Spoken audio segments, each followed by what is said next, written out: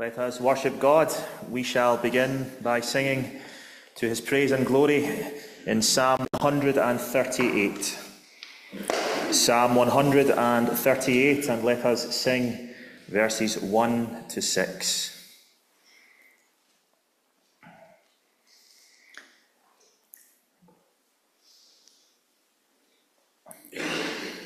Thee will I praise with all my heart. I will sing praise to thee before the gods and worship will toward thy sanctuary. I'll praise thy name, even for thy truth and kindness of thy love. For thou thy word hast magnified all thy great name above. Thou didst me answer in the day when I to thee did cry, and thou my fainting soul with strength did strengthen inwardly. All kings upon the earth that are shall give thee praise, O Lord, when as they from thy mouth shall hear thy true and faithful words. Yea, in the righteous ways of God with gladness they shall sing, for great's the glory of the Lord, who doth for ever reign. Though God be high, yet he respects all those that lowly be, whereas the proud and lofty ones afar off knoweth he. So let us Sing to God's praise and glory, Psalm 138, verses 1 to 6. He will I praise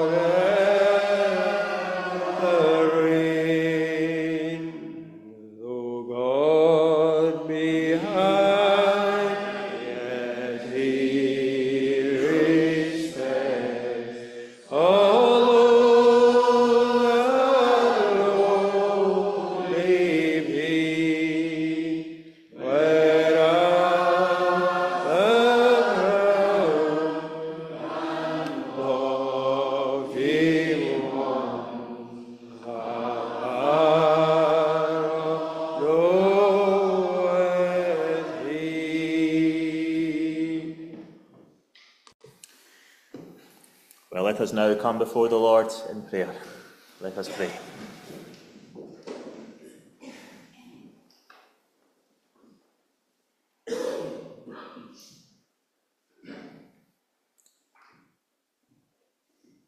Most holy and majestic God, Thou art the great Creator and Sustainer of all things, and it is to Thee that we owe all worship and obedience.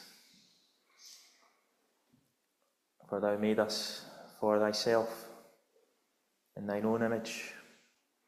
Thou made us for a glorious purpose to know thee, to walk with thee, to fill the earth and subdue it. But in our sin in Adam, we have fallen so far from that high and holy calling which Thou gavest to us. And we acknowledge that we deserve to be cast off from Thee forever for our squander of such privilege. How we thank Thee as thy people that thou art the God who has not treated us as our sins deserve, but with that love which we can never fully comprehend. Thou sent thy Son in order that he would redeem his people from all their sins. And we thank Thee once more this night for all that Jesus Christ has done. And we ask that as we go forward this night, and if Thou sparest us into the days ahead, that He would become increasingly precious to us as we see that there is no one else who can save. There is no other name under heaven given among men by which we must be saved. So we ask that thou wouldst fill our thoughts with Christ and that he would truly be our all and all each day.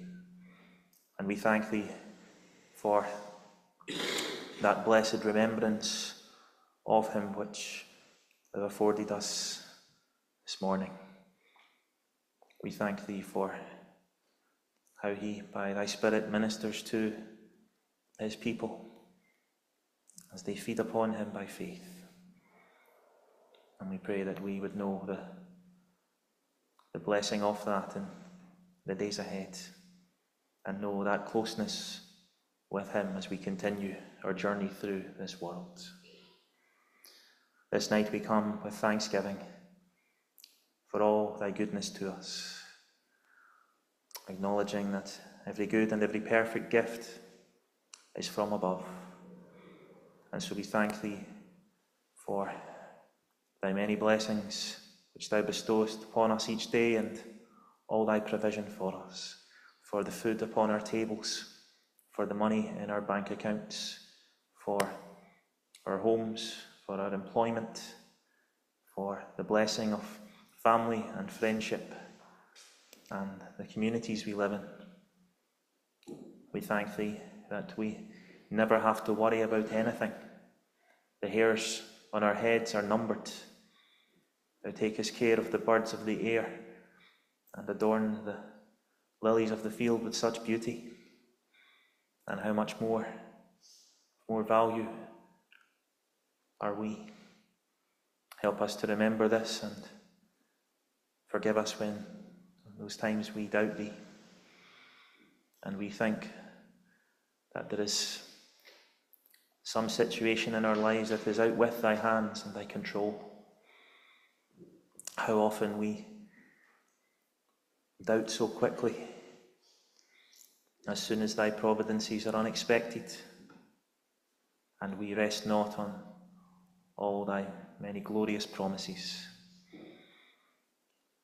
And so we thank Thee for every good gift that Thou hast given to us. And we pray that each day our hearts would be lifted up to Thee in love and joyful thanksgiving, and that Thou wouldst help us in our walk with Thee. We confess how easily we become distracted and how our hearts get so taken up with the things of this world which have no lasting value, but we are guilty of pouring so much time and energy into things that we will not have in eternity when there are things of eternal value that are so much more precious that we must focus more upon. We pray then that this communion time would be a reset in our hearts and minds for all of us, and that we would learn to prioritize what is truly needful.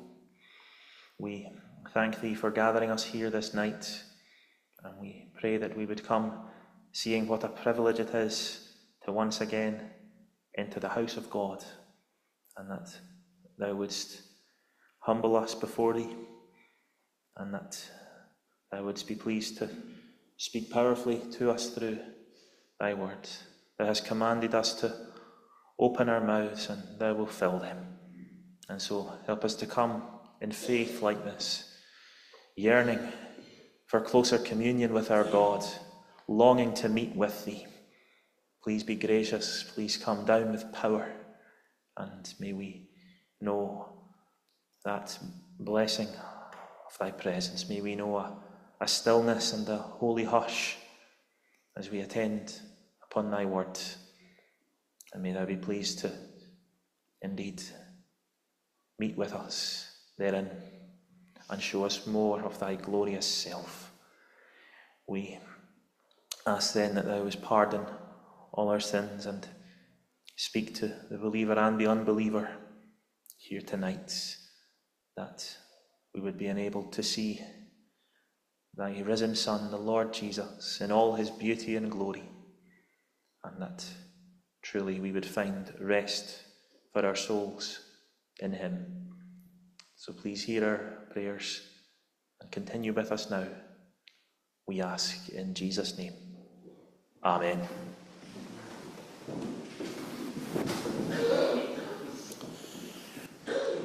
For our scripture reading this evening, please turn in your Bibles to the Gospel according to Luke and to chapter 18. Luke chapter 18, and we shall begin reading at verse 18.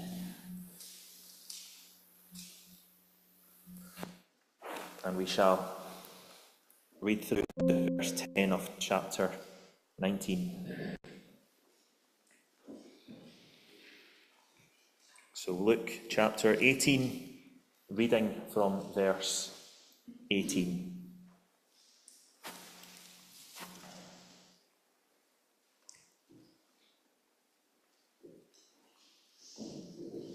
Let us hear the word of God.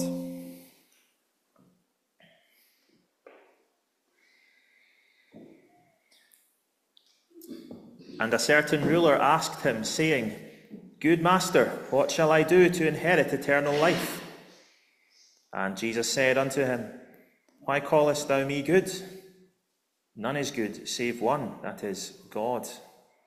Thou knowest the commandments do not commit adultery, do not kill, do not steal, do not bear false witness, honour thy father and thy mother.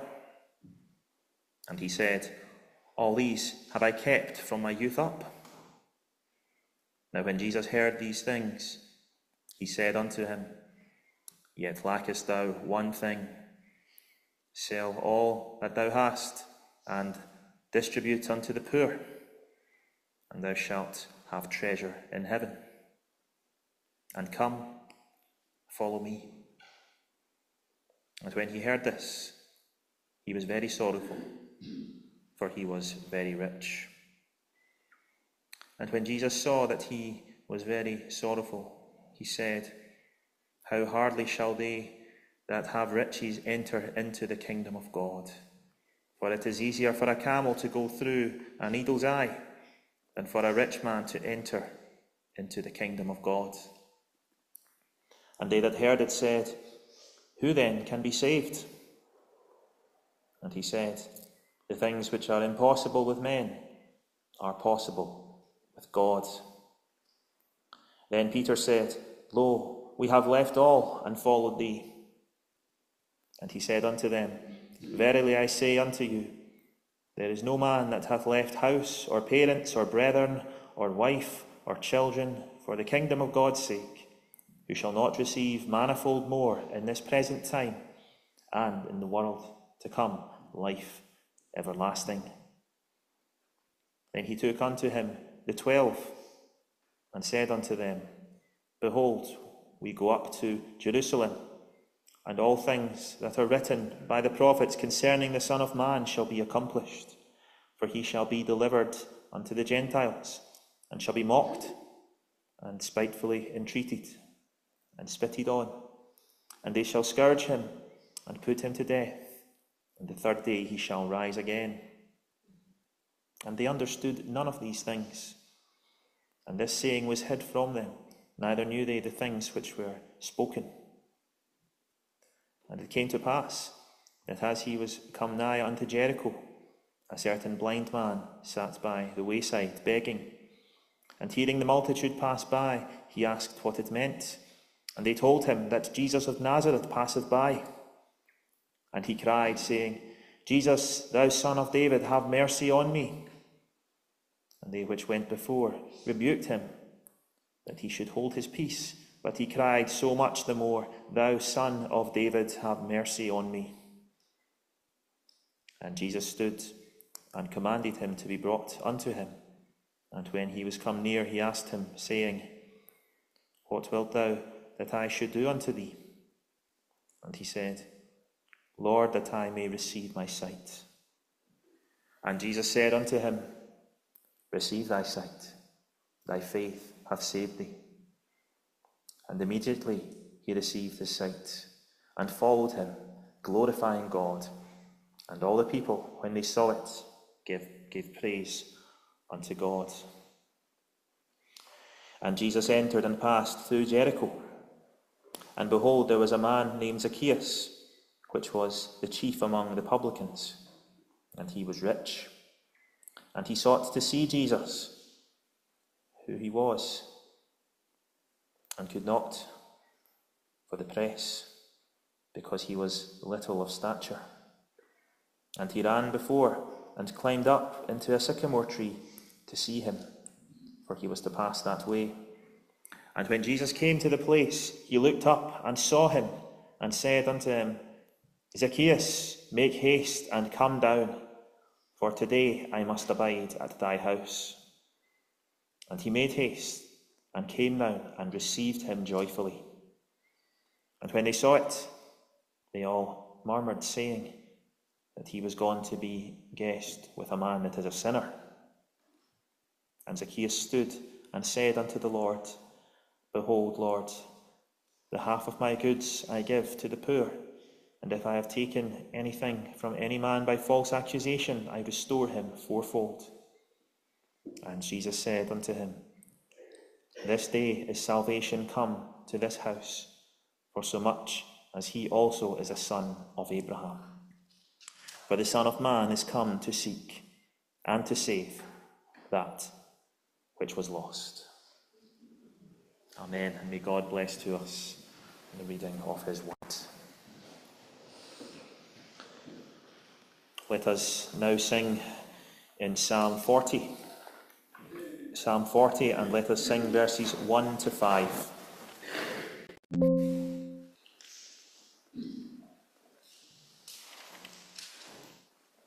Psalm 40, we shall sing the opening six stanzas, verses 1 to 5. I waited for the Lord my God and patiently did bear. At length to me he did incline my voice and cry to hear. He took me from a fearful pit and from the miry clay, and on a rock he set my feet, establishing my way. He put a new song in my mouth, our God to magnify. Many shall see it and shall fear, and on the Lord rely. O blessed is the man whose trust upon the Lord relies, respecting not the proud, nor such as turn aside to lies. O Lord my God, full many are the wonders thou hast done. Thy gracious thoughts to usward far above all thoughts are gone. In order none can reckon them to thee. If them declare and speak of them I would, they more than can be numbered are. So we shall sing to God's praise Psalm 40, verses 1 to 5. I waited for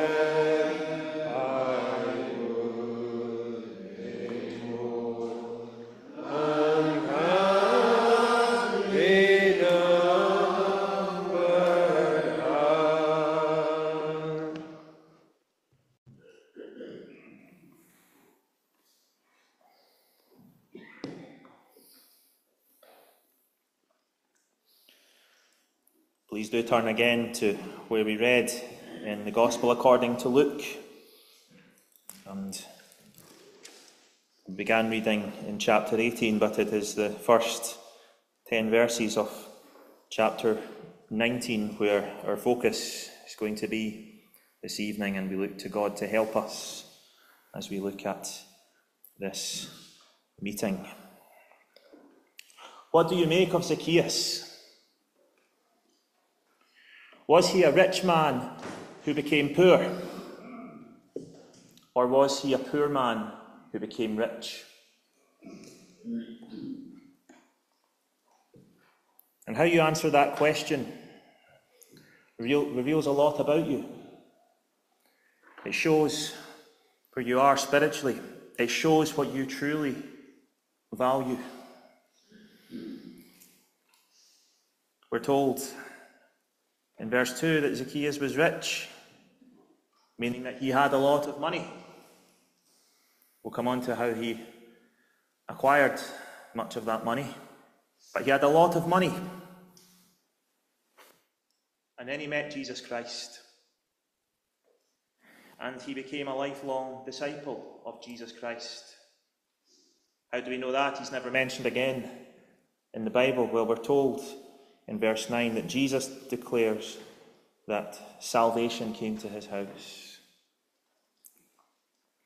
So he became a true follower of Jesus Christ. And then he gave away half his goods to the poor. And then he paid back four times as much to those he had stolen from. So, what do you make of Zacchaeus? Was he a rich man who became poor? Or was he a poor man who became rich? What Jesus does in the life of Zacchaeus shows the truth of chapter 18, verse 27. Because you see, we've read of two rich men that met Jesus. But there's a huge difference between them. We see with the rich young ruler that we read off at first that his riches were most dear to him and he couldn't truly follow the Lord. The Lord, therefore, put him to the test and said, If you want to follow me, you'll have to give away what you have, an income, because the Lord knew his heart. And God doesn't take second place in the lives of his people. Second place is an affront and a mockery to the creator of the universe.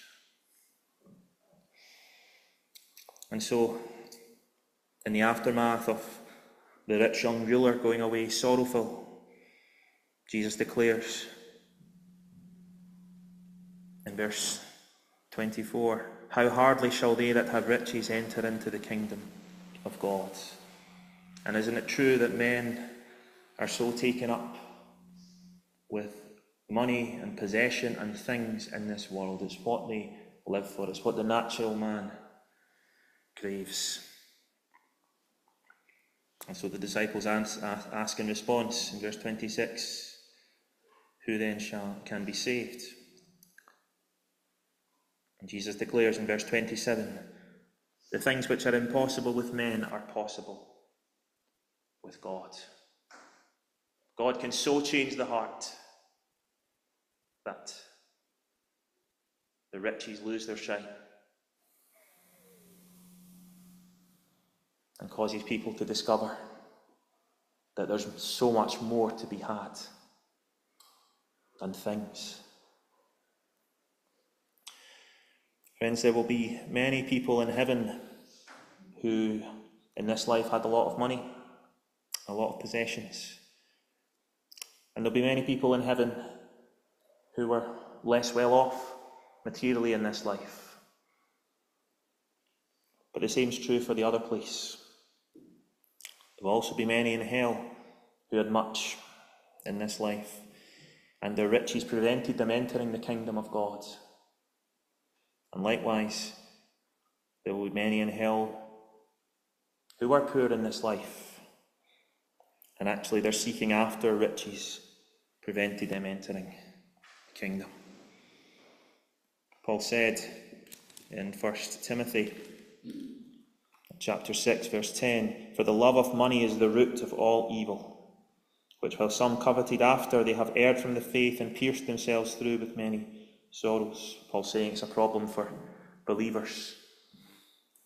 and can be such a hindrance and a stumbling block for believers, as well as being a distraction for unbelievers that humanly speaking keeps them on a road to destruction. So we're told that this meeting between Jesus and Zacchaeus took place in Jericho. Jericho was a wealthy town.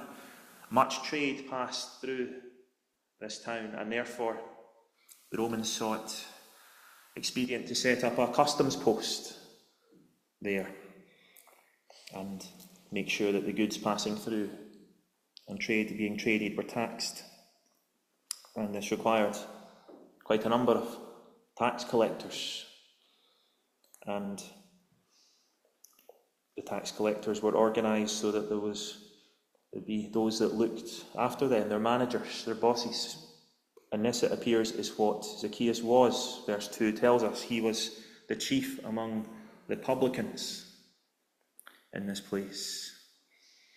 And we see that before meeting Jesus, he had questionable morals. Being a tax collector was an easy way to line your own pockets.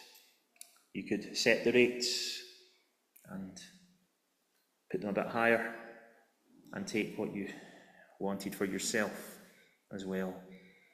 So, this was the background of this man, Zacchaeus. But what we see in the Lord's dealing with him is that past sins don't disqualify someone from coming and having life in Jesus Christ. My friend, your past sins don't write you off. Your past sins don't mean that the gospel is offered to everyone except you. You're not the exception. Whatever you've done, whoever you are, whatever your background, there's good news. Good news proclaimed to you. Good news that you're urged to take heed of. A Saviour you're urged to take hold of. We see that Zacchaeus knew deep down that his life was empty. Being a chief tax collector was a good, well paid job anyway. But that wasn't enough for him. He needed to cheat as well. Trying to acquire all the wealth he could, lost his reputation among his own people, the Jews, doing so, who had no time for those that would work for the Romans. He wasn't satisfied. And he was looking for more and the fact that he went to see who was passing through the town and what was drawing the crowd. So he was looking for something, something that money couldn't give him. And in meeting Jesus Christ, he found something that money could never give him. As Augustine famously said, our hearts are restless until they find their rest in thee. Is you're still restless this night? Are you still wandering from pillar to post in this world, looking for the next thing, the next buzz, the next thing that's going to captivate your attention, give you something to devote your energy to for a little while? And it won't last either, like nothing before did, because you were made for something so much greater. You were made to know God you were made to have fellowship with your Creator. So Zacchaeus is a rich man, a dissatisfied man, and most likely, in many ways, a lonely man, hated and despised by his community, as is evidenced in verse 7, where when the Lord goes to his home, the people are saying, they're murmuring, saying, He's gone to be guest with a man that is a sinner. He was looked down upon, he was frowned upon and despised by society. And in many ways, Zacchaeus gave them good reason to. But he was a man who was precious to Jesus Christ. Meaning what? Well, meaning that Jesus did something for him. You see, in the final verse we read, in verse 10 of chapter 19, Jesus tells us what he was doing. in this whole incident with Zacchaeus. For the Son of Man is come to seek and to save that which was lost. That's what Jesus was doing in the life of Zacchaeus. And that's what he's done in the lives of all his people. He's come to seek and to save. And we're going to briefly consider the, these two headings then Jesus seeking and Jesus saving.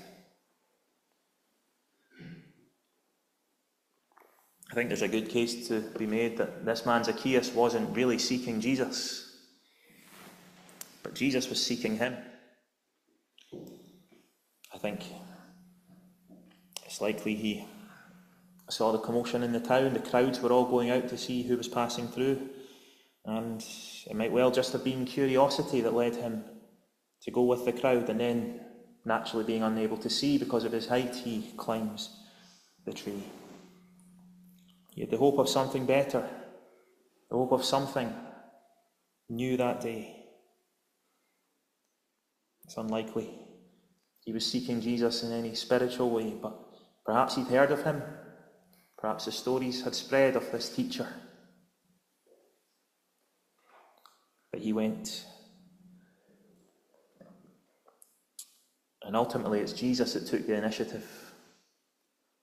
The Lord called him down from the tree because the Lord was seeking him. Just as in the garden, after they had sinned and eaten the forbidden fruit, the Lord came seeking Adam and Eve to cover them, to give them a gospel promise. That's what Jesus Christ does. That's what he's doing now. He's seeking. He's seeking his people. He has sheep to be gathered in. And in love he comes. He's working now in this world. From his throne in heaven, he is working by his Holy Spirit, working through the ministry of his church, because he is a people, a people to call to himself. It wasn't the custom to invite yourself to someone's home. But Jesus does that. It implies he was going to eat with him. He's coming to stay there. He came and he took over a home and a heart. And the question is has he taken over yours? He stands at the door and knocks.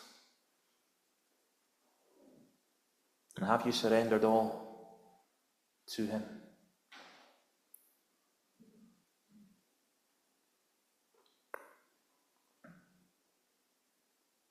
Zacchaeus came in the midst of many frowns and murmurings. He came. The Lord drew him. My friend, if you're still halting between two opinions, if you're still unsure, and part, perhaps part of it is love of the world, fear of man, fear of your reputation,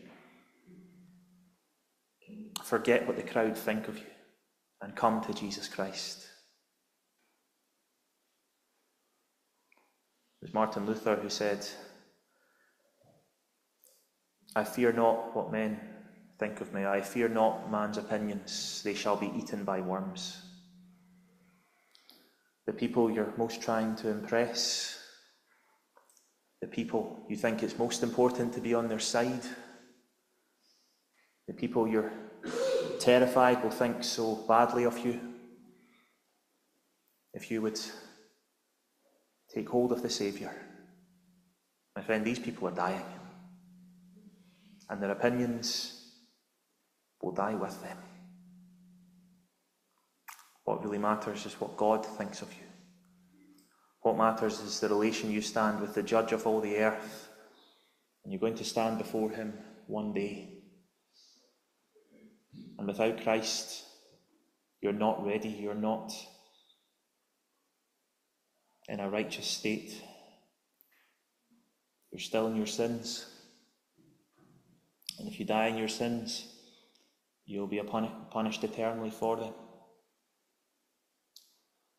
Jesus Christ is offered. He alone can make you right with God. And he promises to do that for all who will call upon him in sincerity. Jesus Christ has died for his people. He's made full atonement for their sins at the cross of Calvary, and he now seeks them out by his Spirit. The Lord is building his church now. He directs the providences all his people, and they will encounter him. Some early on, some later.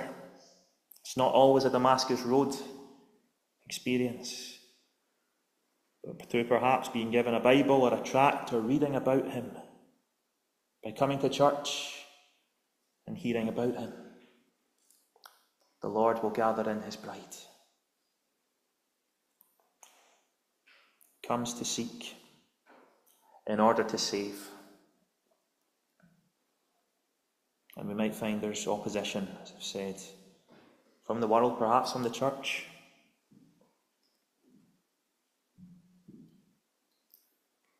But Zacchaeus comes.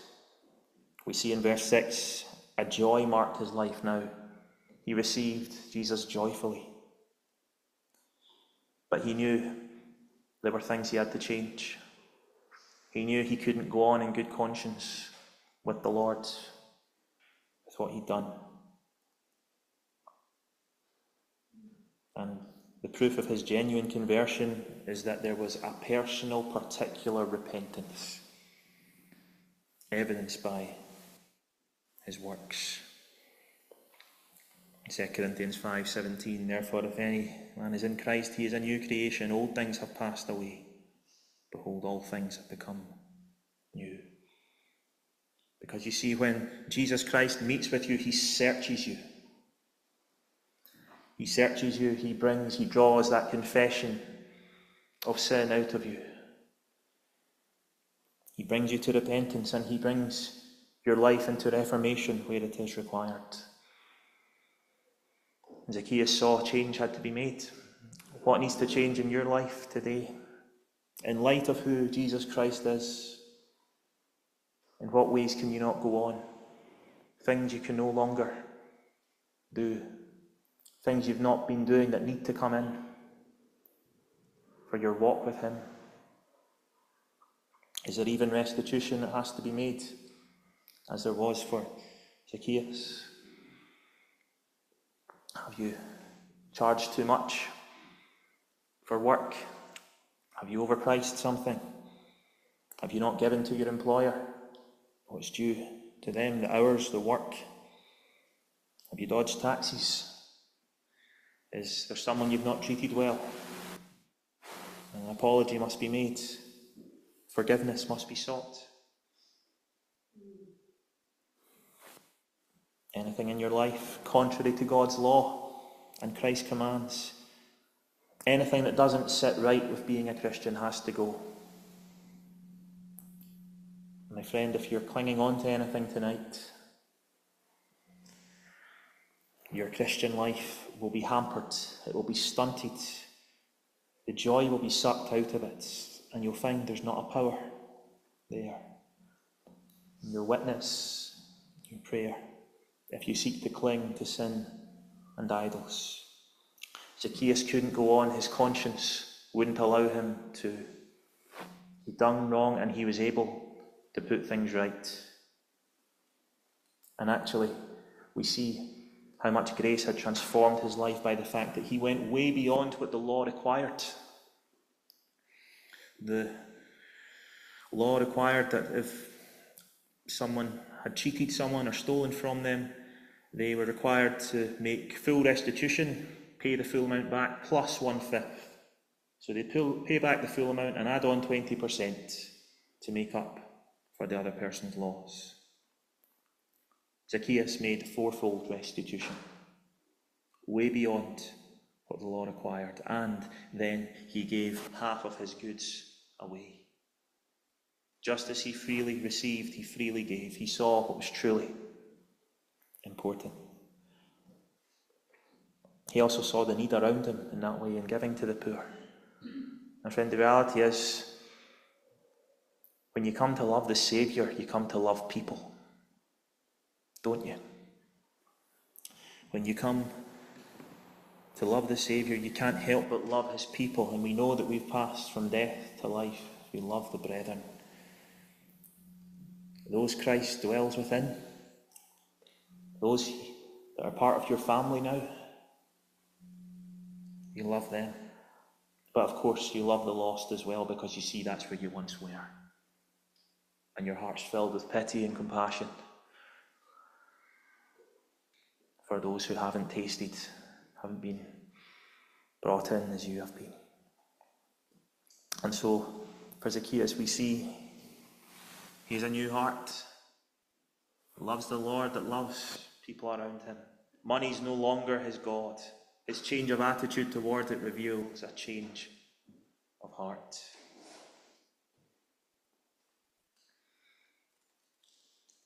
He lived out the verse that we find in Ephesians chapter 4, in verse 28. Let him that stole steal no more, but rather let him labour, working with his hands the thing which is good, that he may have to give to him that needeth.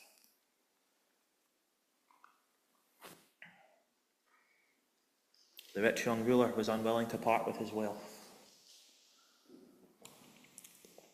But by grace, Zacchaeus was more than happy to.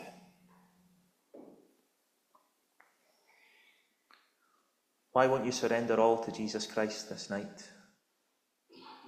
What's stopping you? What's got that, that pull on you, that grip, that hold on you that makes you think, no, I've got something better elsewhere? What makes you think it's not worth it to have Christ? Friends, whatever you think is worth not having Christ for, if you go on in this way, you'll discover in hell that it wasn't worth it. You'll burn eternally, you'll be tormented, and it will never end. I know we can't measure eternity in terms of time, but it's always given me a chill to think that for those in hell, there's no halfway point. You never reach halfway. However long someone will have been there for, there's always longer to go. Eternity never ends. Of course, the same is true for heaven. that when we've been there for ages and ages and have come to such discoveries of our beloved that we never knew on this earth. There's even longer to go. Heaven will never end either. We'll never reach halfway there. All that lies ahead for believers after they've been there, as John Newton said, 10,000 years. No less days, even more ahead of beholding their King, walking with him, and being taken deeper into his heart. And this is what Zacchaeus discovered by the grace of God. And so Jesus describes him in verse 9 as now being a son of Abraham. And there's two ways in which Zacchaeus is a son of Abraham. First of all, tax collectors were treated as traitors who could no longer be called Jews. But Jesus is saying, No, this man's still a Jew. I came for the likes of him and he has as much entitlement to hear the gospel as any other. But secondly, he's a son of Abraham because he's a child of faith, as Paul speaks of in Romans 4. Not just those of the circumcision, not just the biological Jew, but also those spiritually of faith. So in Galatians 3 7, Paul says, Know ye therefore that they which are of faith, the same are the children of Abraham. And so, what Jesus did here is what he still continues to do today. There is one who is now about the business of seeking and saving the lost. He puts out the gospel call, he draws effectually by his Spirit, and he gathers. My friends, what we see from the Lord meeting Zacchaeus is that there is a willingness in Jesus Christ to save sinners. It is his joy to do so. And if you come to him, you won't find him saving you begrudgingly. You won't find him doing it through gritted teeth. No, it will be his delight to do so. And he does so sovereignly. And you think, is it God's sovereign plan of salvation to have me? Am I one of the elect? Am I one that he has sought out? Well, your coming to him is evidence that he has been seeking you.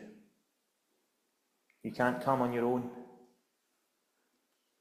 You can't come by your own strength. Jesus said that all that the Father gives me will come to me. None can come except the Father draw them. So, how do you know you, you come? That's the call to you. That's your business. God's electing purposes, His working sovereignly by His Spirit, that's, that's His. The call to you is to come, to surrender all to Jesus Christ, to trust in His death on the cross for the forgiveness of your sins and eternal life.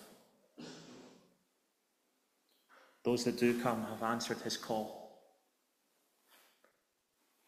And they've only come because he's been seeking them first.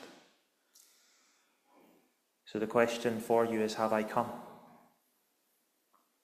Have you been found by him? Do you want to be?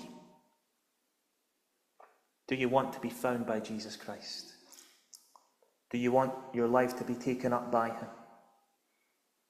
Do you want to know Him and know God through Him? Do you want eternity in His presence? Do you want freedom from the power of sin? To walk a new holy life knowing God? My friends, it's offered to you. The offer is to you. So, what will you do with this call? So, what do you make of Zacchaeus? Was he a rich man who became poor? Or was he a poor man who became rich? I hope that by God's grace we all would give the answer of the latter. We see what's truly important. Zacchaeus was just a poor man. Who cares how much money he has in the end? But he became rich and coming to know and follow Jesus Christ. So, what does that make you tonight? Are you poor? Or are you rich? The answer to that ultimately, in terms of eternity, has got nothing to do with your bank account or your assets, and everything to do with the relation in which you stand to the Lord of glory. My friend, he is offered to you. Let us pray.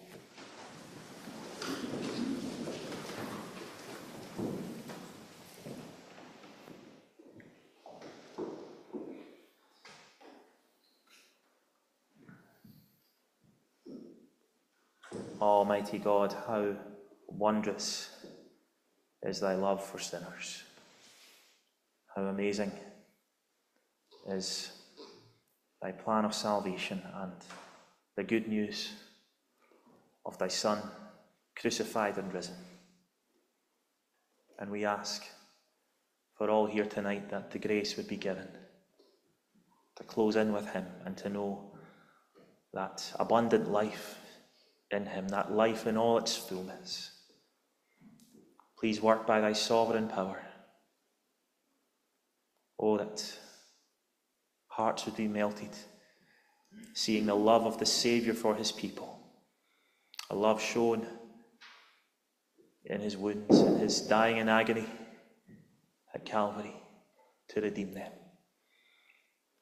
So this night we commit ourselves into thy hands, asking that thou wouldst help us to think upon these things and that our lives would be ordered aright, that we would prioritize the things of eternity, and that we would come to know the Saviour more as we walk on with him. We ask thy richest blessing to be upon this congregation. We pray for the community around that they would be here a bright and shining light, a city set on a hill. And we pray for every true gospel congregation on this island that thou wouldst be pleased to, might, to work mightily in these days to bring about reviving power, that people would come flocking to hear the good news of the Saviour, that there would be that conviction, there would be that earnestness and urgency as people consider the great weighty matters of eternity. Please work by thy Spirit, we ask, to bring blessing, to bring a harvest of souls for the glory of thy name. And so we pray for thy ministers and preachers in this place, that thou was, they would know thy help and strength and protection for their own hearts and their families in the days ahead.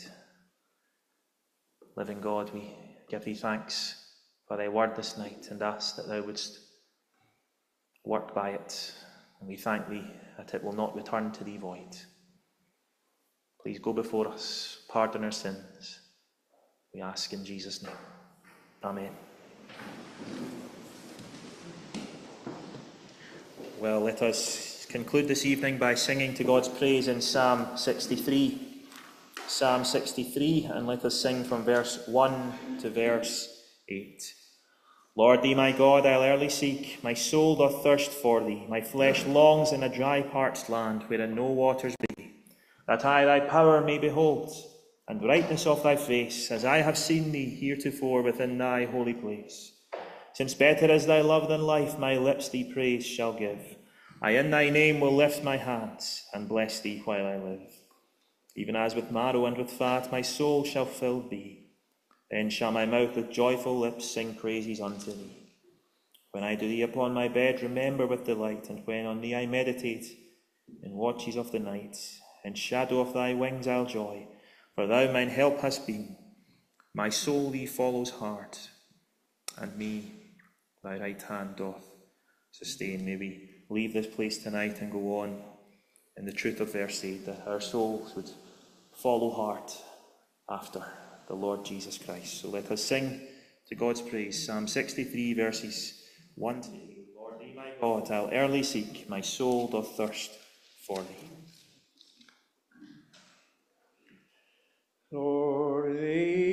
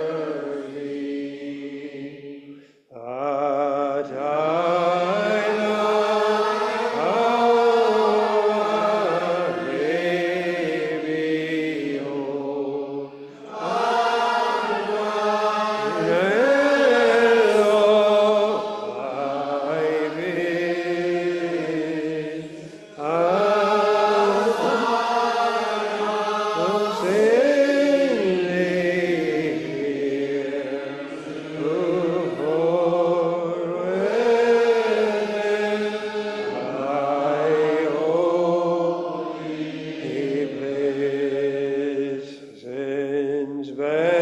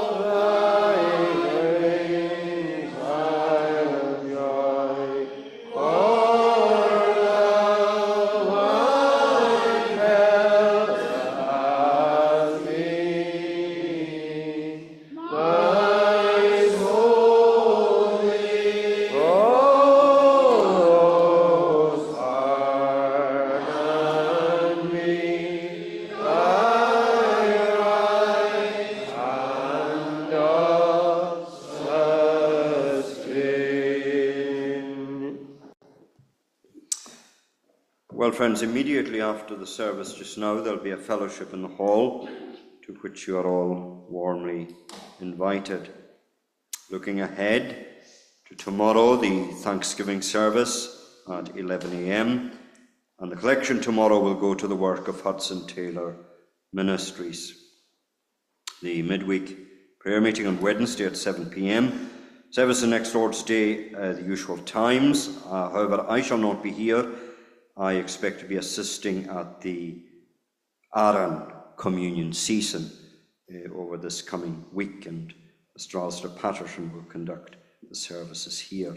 Now, for Portree, um, uh, the same applies. It's services as usual, Wednesday at 7 and next Lord's Day 11 and 6.30.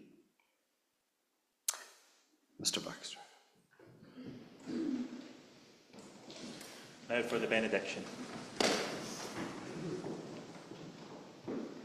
The grace of the Lord Jesus Christ, and the love of God, and the communion of the Holy Ghost be with you all. Amen.